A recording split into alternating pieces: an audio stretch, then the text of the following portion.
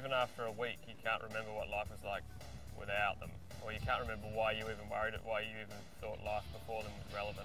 It's an amazing life changer. You didn't think you could love something that much. You know, you just it's it's one of that you don't have to describe it to someone who has got kids, and you can't describe it to someone who doesn't.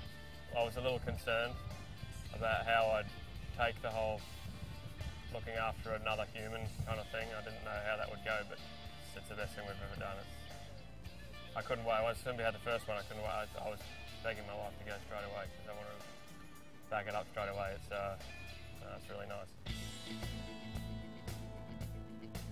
When you're a kid, you kind of work it all out on your own, and then you start getting coached, or you go and get some lessons, and you get on the video, and the videos have got so good now. You get on the computer, and there's the lines and the whole thing. And I got right into that sort of stuff for a while.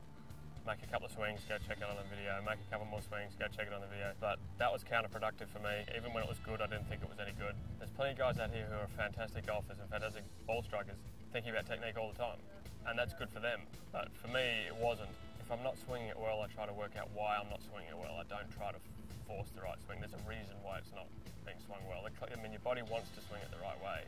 And if it isn't, there's something wrong with your body, or you've got a, like a block in your head that's not letting you do the right stuff. So it's more of getting out of my way rather than force myself into position, if that makes sense. I do it more with golf shots. If I'm if I'm if I'm hitting only fades and I can't draw it, I go to the range and I try to hit draws. That's very general, but I try to treat it very general and very natural that way. So I've kind of gone full circle. I was right into the video and the technique, and I've kind of come back the other way. The sport doesn't change. I mean, everybody's playing the same game. The only thing that changes in golf is the person playing it. So I guess you're not trying to work golf out, you're trying to work yourself out. Um, and when I looked at it from that perspective, it was easier for me to work out what worked for me and what didn't work for me. But basically, I think most beginners or golfers who struggle have come in with this preconceived idea of what they're supposed to look like and what they're supposed to do, and they kind of force themselves into these positions that they think looks right, and it can't possibly feel right.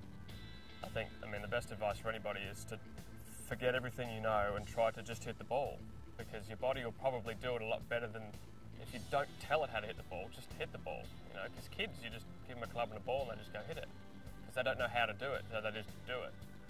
I would. Uh, take away all the self-instruction, at least for first. Stop trying to look a certain way. People try to look like a golfer. Don't try to look like a golfer, just try to hit the ball. And if you're trying to hit the ball the right way, then you'll look like a golfer.